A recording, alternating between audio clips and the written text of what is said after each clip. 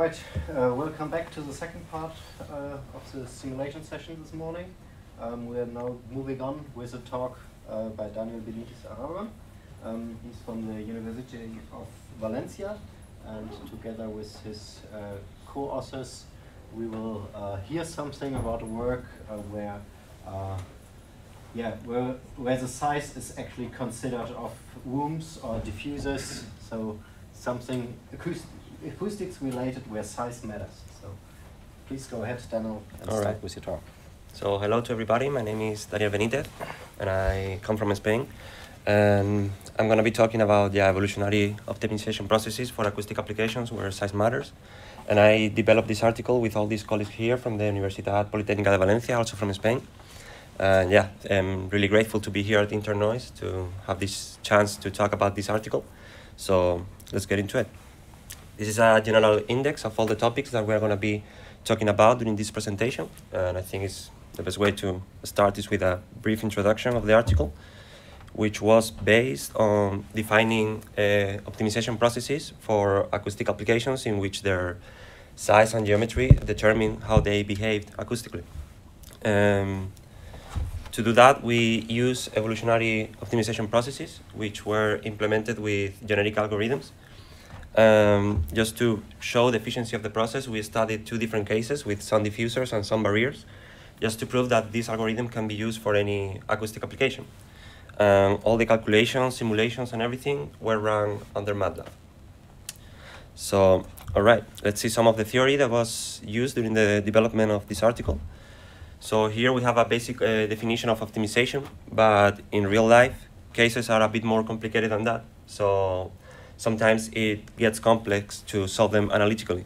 So a good way to do it is uh, through evolutionary optimization, which is based on an initial population of individuals, for example, the sound diffusers or the sound barriers, that um, uh, represents the first generation of the process and is a set of solutions for a specific problem that is defined with or by one or more conditions and the optimization process begins when these individuals do not meet the condition and have to undertake a series of transformations to generate new elements. And after that, a selection process is run, and this one favors the best individuals within this new group. So we will have a new generation, and the process can be repeated until the condition is met, and we obtain a set of the best individuals. So these evolutionary optimization processes can be uh, implemented with genetic algorithms, which is a process uh, similar to the one that happens in nature. And to do that, our initial population uh, has to be uh, generated completely randomly to add with enough genetic diversity to the process. And after each iteration, new individuals are generated while others are removed. And there are basically two processes to generate new individuals, which are crossovers in which a new element is created by combining uh, the features of two samples, each of them in a certain proportion, and through um, mutations in which one of the features of the new element is also generated randomly to add even more genetic diversity to the process. And the amount of individuals that are generated and those that are removed uh, is the same, so the population stays constant. Um, the thing is that in real uh, applications, um, usually we have to optimize more than one function. So uh, this means that the, that the problems are multi-objective. For example, with the sound diffusers, we will want to minimize its thickness and at the same time maximize their frequency response. And with sound barriers, we will want to minimize its size and at the same time maximize the isolation that they produce. And we can see how, in general, these two um, goals are typically in conflict. Uh, so thanks to our multi-objective implementation, we won't find a single optimal individual, but instead uh, several. So we have to look for those uh, elements that are the best or for which there are no better elements for all the parameters, all the goals at the same time. And these individuals will form the so-called Pareto front. And thanks to our genetic algorithm, new individuals will be generated um, out of others, um, progressively moving forward this Pareto front, which is represented by the blue line.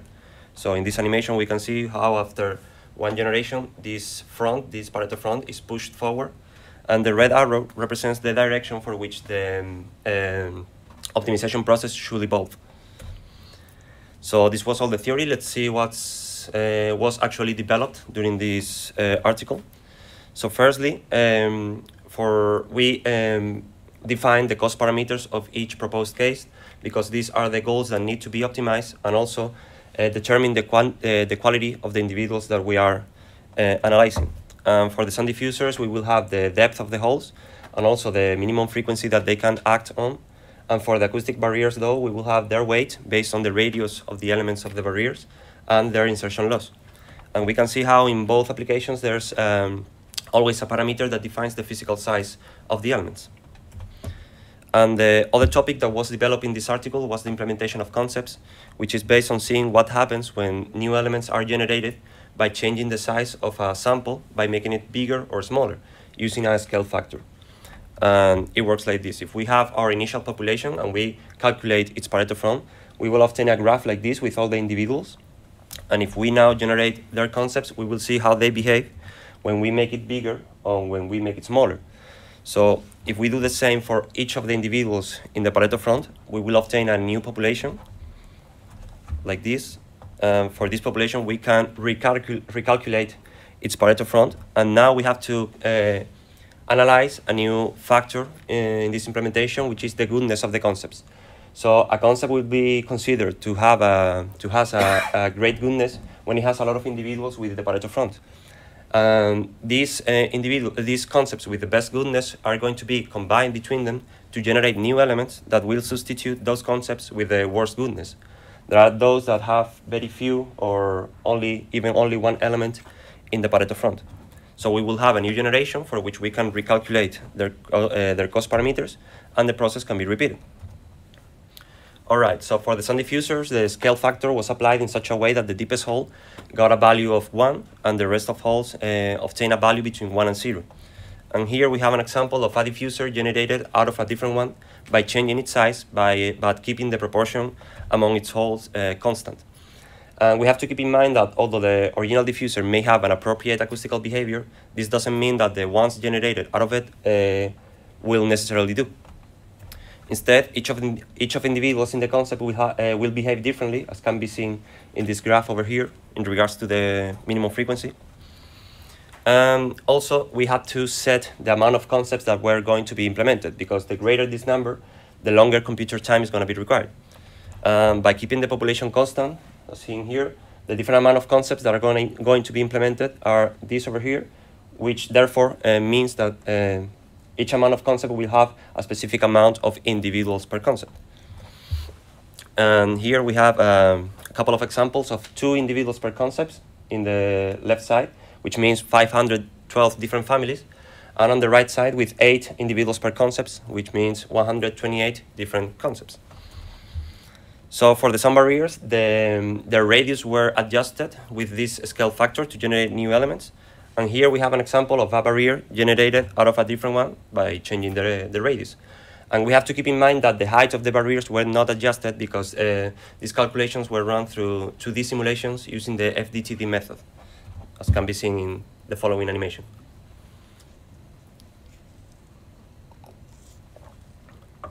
Um, as with the um, diffusers, each of the elements in the concepts will behave differently.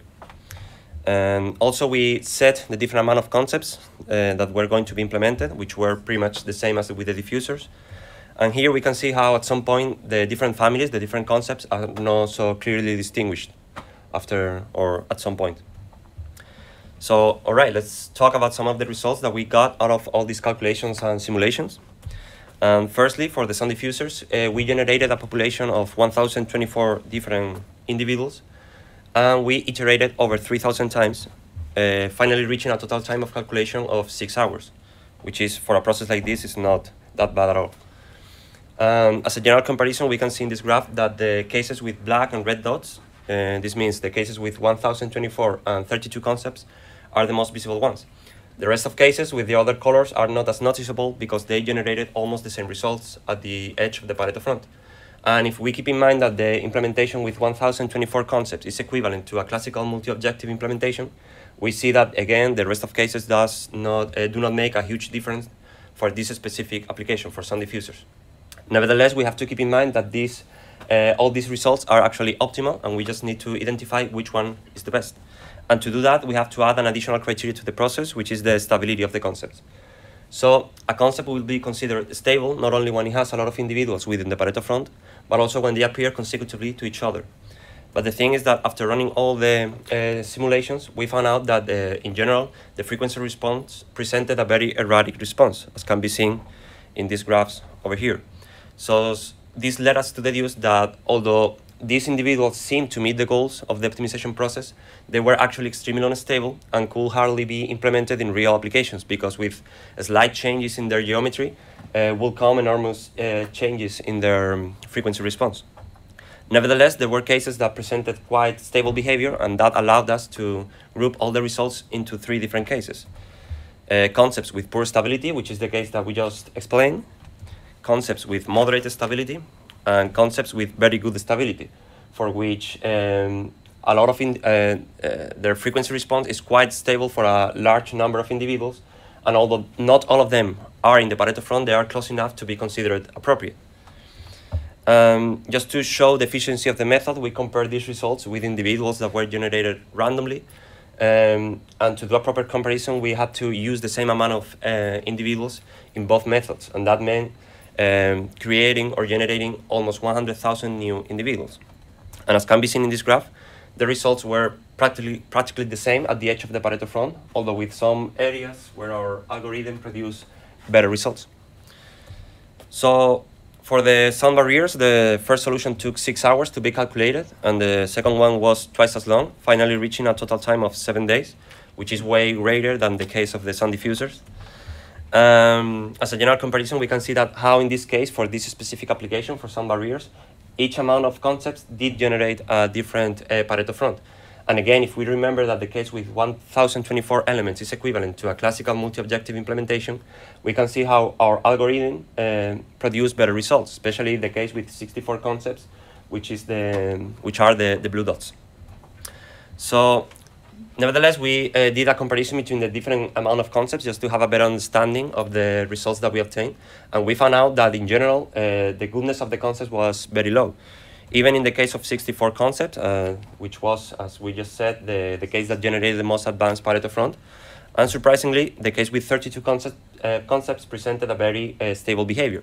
So this led us to deduce that we can approach the optimization process from the efficiency point of view to generate the most advanced Pareto front, or from the stability point of view to generate those elements that are uh, e easier to be implemented in real life.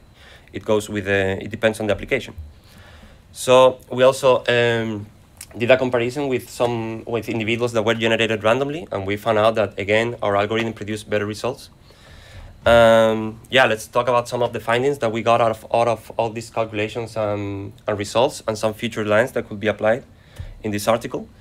So firstly, although the Pareto front may be influenced by the amount of concepts, uh, this does not happen in all applications. It happened with the sound barriers, but it did not happen with the sound diffusers. And similarly with the stability. It may be influenced with the, by the amount of concepts, but we need to do more implementations to be sure about this result.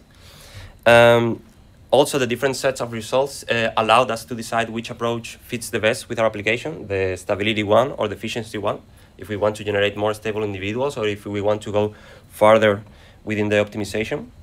And also that the complexity of the application based on the amount of, amount of genes directly influences the results of the algorithm.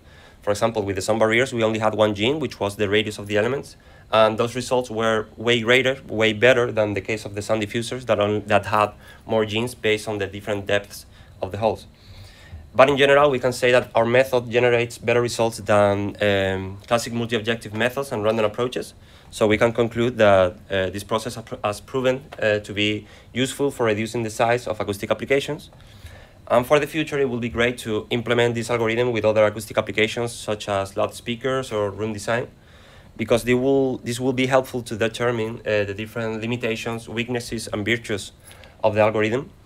Um, a good way to enhance the method will be by defining with total precision the cost parameters that need to be optimized, and also the applicable limits and the um, optimal scale factors, which can sometimes be problematic or misleading. So yeah, that was pretty much it. Uh, I hope you enjoyed the presentation. Uh, thank you so much for your attention. And again, thanks uh, a lot to the entire Internoise organization for this opportunity. I'm Daniel Benitez, and thank you so much.